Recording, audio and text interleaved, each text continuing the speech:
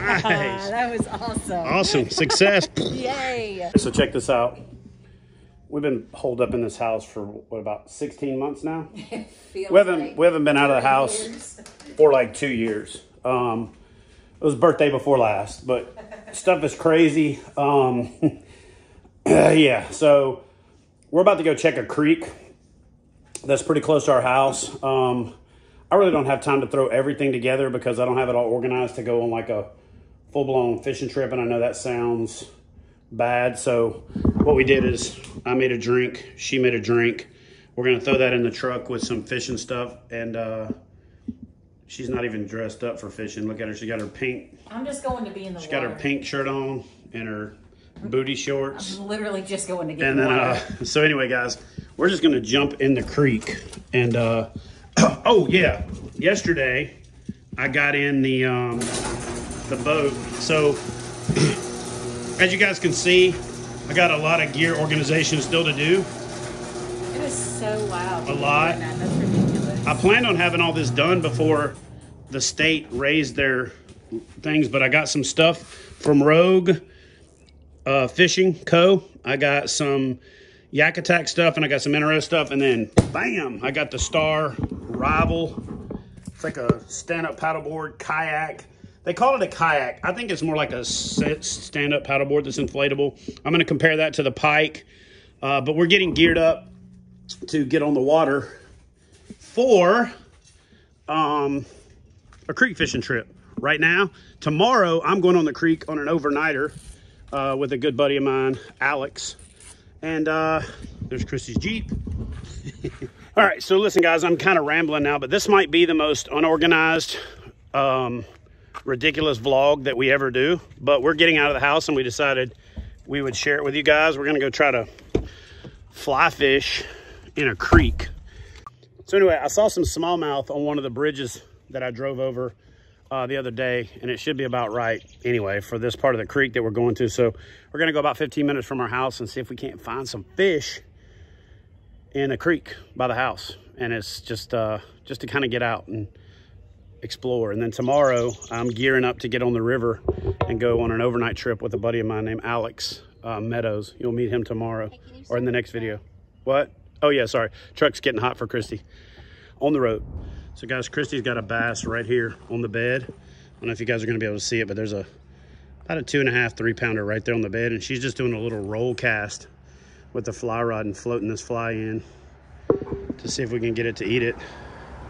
There's a whole bunch of brim and the bass is chasing the brim off in this little hole right here. And she's kind of establishing a perimeter.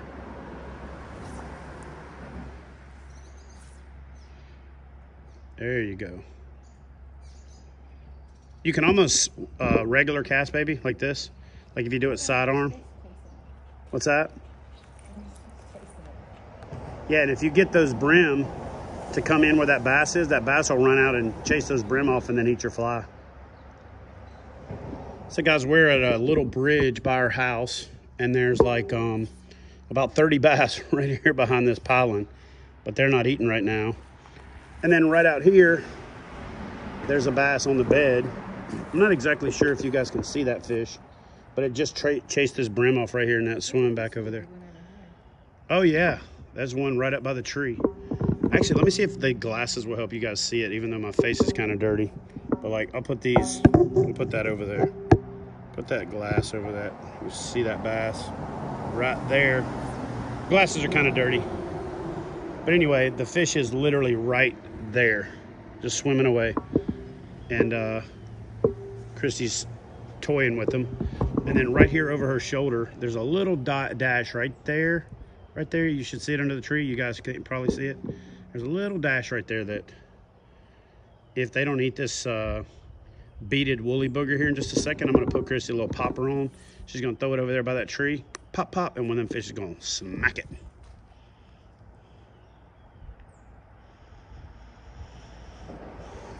This fish right here is back on the bed, right there, just inside the edge of that shadow. You should be able to see it right there.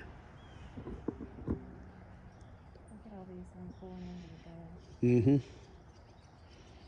And then what that'll do is that'll piss that bass off. And she'll turn around to chase off all them little brim. And then hopefully eat your fly. Yeah, she did it Oh, see her chasing off. You guys see her chasing off all them brim. Now she's right there, kind of swimming around. But basically, what she's doing is establishing a perimeter, and her bed is right there. And uh, that's just one of the cool things about getting on a creek is you just have the ability to see all this cool stuff. You guys might even be able to see this a little better. Actually, let me zoom in right here. But there's a fish right there under the tree. See that little dash right there? Yeah, that's a fish right there. What if it is really cute? Right there.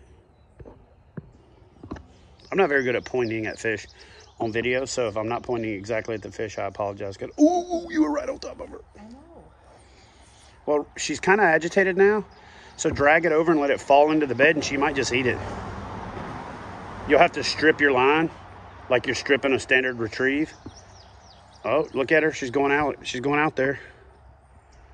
Uh, let it fall.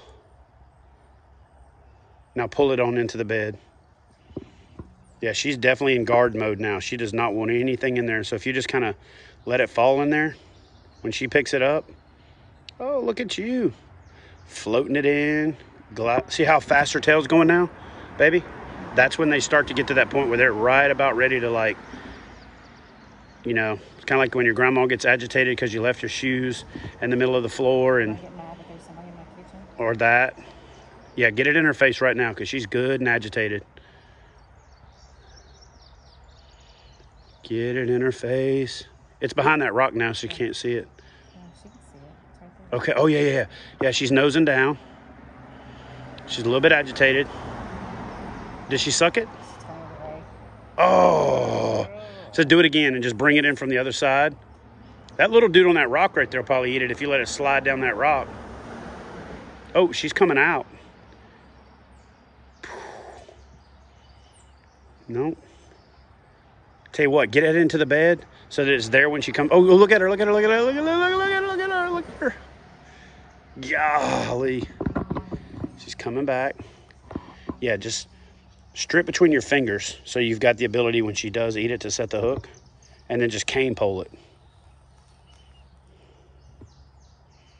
There you go. Just let it fall.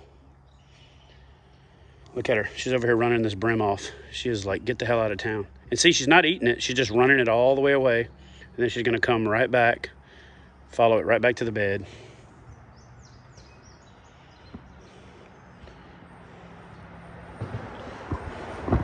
Listen, if this ain't exciting for you, you can just get the hell on out of here right now because this is exciting.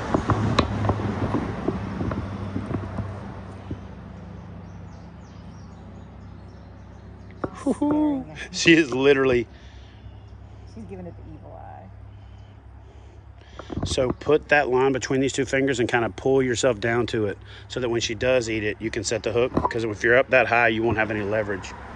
She's gonna take it here. And, oh, she just ran that little bass off. Guys, I honestly don't know how well y'all are gonna be able to see this without polarized glasses. I'm gonna get a polarized filter for this camera so I can play with this spring stuff a lot better. This is what makes bass fishing exciting, man. She is guarding that bed. She literally has her nose right on it. We'll see if I can zoom in. All right, so you play with her. I'm gonna go look in the fly box and see if I got something that I think might be a little bit more agitated, something that might get her fired up, and then we'll try to catch her. Oh, so what just happened? So she finally ate it, but it came off. So um, All right, guys. So listen, I went. let her reset. I went and got this. It's a weighted deer hair crawfish fly. So before, no, no, don't cast out yet. So what I'm going to do is I'm going to change this up. Listen. Listen, this is going to land on the bottom and set up like that. And it's got little tentacles and it's going to irritate her. So you hold this and I'm going to tie the fly. Okay, wet it first right there. Kind of drop it, get, it, get the plumage wet. Is it still floating? Might not be heavy enough to get down with that bigger leader.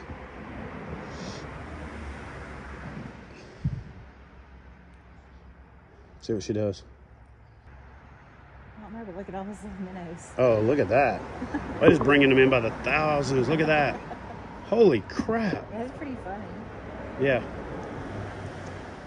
right, I'm gonna have to retie that for in a second to get that fish. But I imagine if we threw it down there past that tree, it would probably draw a strike from those shadows. Man, look at that fish right there just swimming, coming back to the bed. I doubt she's going to pop up and hit it on top right now. Right at the corner of the bed. Oh, you got it to fall. Yeah. Okay. Yeah, sometimes you just got to get the plumage wet so that it can sink down. Ooh, Oh, she is on it. Get her, baby. Get her. Just let it sit. She's going to she's going to lose the staring contest in a second. She's chasing them bass off. See it? She's chasing. Mad at, she's mad at the world. She's mad at everything. Look, there's two more juvenile females right there that she's pushing away. Guys, I apologize for the noise, but we are trolls right now. We are under the bridge, and I just, there's nothing I can do about it. But Kristie's about to catch this fish. I feel like instead of trolls were the red hot chili peppers. What? I said instead trolls were the red hot chili peppers. Look at her. Just darted over here, guys, chasing these, chasing that brim away. See her? God, I hope everybody can see this, and I'm not just like pointing the camera. I don't think anybody can see it. Oh. I'm just gonna. Ooh, look at that. look at that, She is so mad. I'm telling you, She's gonna come back and eat this. That means they are ready to get set up. She's not spawning yet, but she's establishing the perimeter to run everything off. She is kicking out some energy chasing those fish away. That's why a brim bait, like a bull, bra- bull shad, when you swim that bull shad in, they think it's a, a bull, a brim, and they chase, tr- try to chase it off. And when it don't run away, they eat it. Man, look at all these other fish starting to come in now. She's like not real happy about that. Here she comes. It's one of those days when you drop the shampoo in the shower, like nothing goes right. She feels like nothing is right right now. Look at her. She's staring at this thing. Ugh.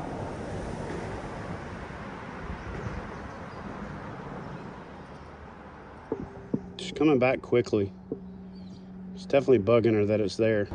How could she get that close to it and not eat it? Like literally, I think she kissed it actually. That's called bed fishing, baby. It's just like that. Okay, let's change flies real quick.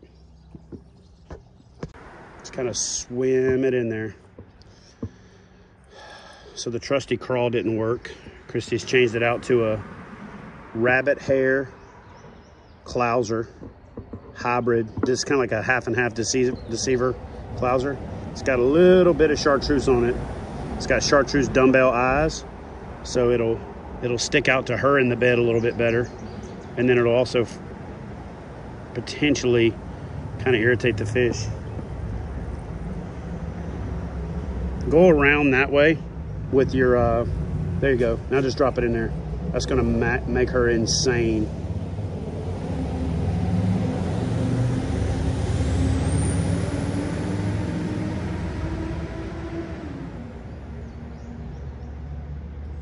Is she leaving? Hmm? Is she leaving? Leave it in there. When she comes back, just kind of jiggle it, just enough to make it where she sees it move. How far can I see? And it's so heavy, you can also hop and pop it almost. There you go. Oh, yeah. Oh, yeah. Pop it.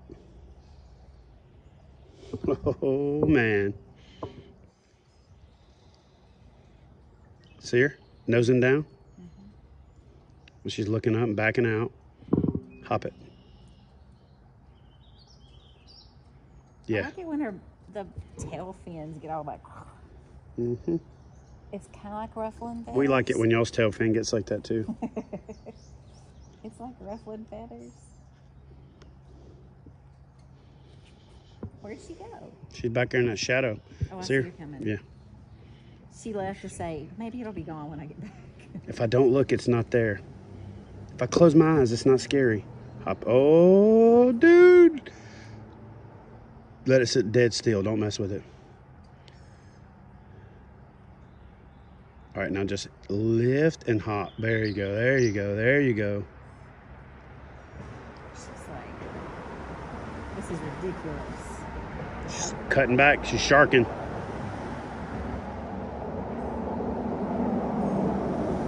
She's about to eat it. Just pop it a tiny bit.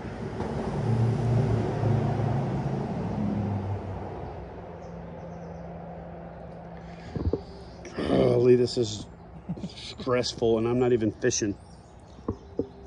She's sharking back.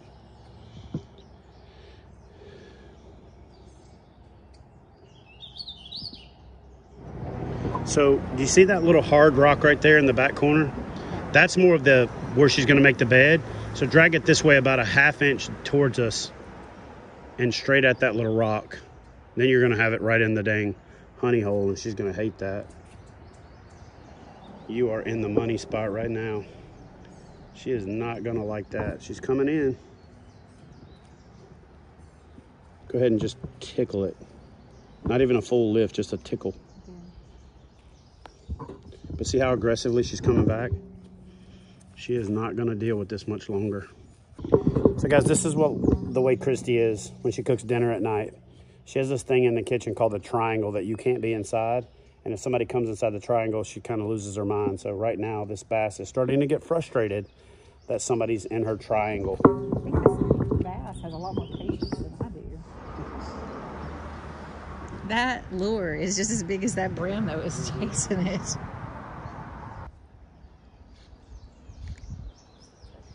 As soon as I get up there to start trying to put her fly rod together so she can catch one, she actually lands the fish. I did it. Go. Oh, man, you talk about being patient. Man, that's a smallmouth. Turn it around. Oh, yeah, baby. Look Look, at at that. that. That, that was worth some fight. That's your personal best smallmouth on a fly rod, right? It's my first smallmouth. So first, personal best. Yeah, and it's a good one. Yeah, hold it up next to the reel. All right, so we got the official photo with the fly rod in the mouth. I was telling Kristie what you pretty much got to do as a fly fisherman, and now she's going to get the release. Okay, let get her so back in here. that girl back in the water. Don't fall in with her. Nope. Nice. that was awesome. Awesome. Success. Yay. Well, Yay. that took 45 minutes, right? So Yeah. a little bit longer than you're used to, but that's not really that long for. I had to be patient. Some bedfish. so good. But you notice how you started seeing that body language? Yeah. Get a little bit more aggressive and she'd honestly swim away and come back. Eyes on this lure Well, that that's it. part of it, yeah. I mean, she. So basically, what she's saying is, I get an assist for expert guiding. But anyway, sorry. when I started shaking the eyes, like she just she couldn't handle it anymore, and it was right in that sweet spot in the back corner of the Now, bed. I wasn't looking because I was up there trying to set the other fly rod up. But did she hammer it? Did she pick it up? She hammered it and went that way. Yeah. So what she was doing is taking, it to it drop it off the bed, Yeah, and then you just away. stuck her. Yay! All right, guys. So that's going to do it for today's vlog. Um, the whole goal of the video was to go catch a fish in the creek, and we accomplished that. But what I'm going to do right now is I'm going to shut up. This was Kristie's experience, and I'm going to let her tell you about it real quick. Actually, before I do, the first thing that stressed Kristie out was underneath the bridge right here. It says no trespassing, and she's a rule follower. Uh, so I was nervous for several minutes. Um, so no, so I, I mean, it was fun. It's been a minute since I caught any kind of fish, and that was a, a good fish. I've never caught a fish like that on fly, so that was really fun. But I kind of feel guilty because it's kind of like taking candy from a baby. Like, you know, you're going to agitate her enough if you can just be patient. And it's clear water, like you can see, and you know exactly what to do that makes her get all irritated. So I kind of feel bad because I could see the whole thing unfold, but it was still fun. Well, guys, there you have it. Uh, Kristie's take on bed fishing. But listen, I want to tell you about a quick corollary where fishing is a lot like life. If you agitate her enough, eventually you'll get what you want. So that's Chad's words of wisdom for life, and uh, see y'all in the next video. Love y'all. All right, woman, let's get the heck out of here. Yeah, before we get arrested. Goodness gracious. There's somebody else been fishing. I think it's been a minute. I swear, if this woman was in the woods by herself, she'd be lost. What happened was we went 100 yards, but I moved the truck and she got lost. Where do we go up at? uh, anyway, yeah. Y'all have a good night.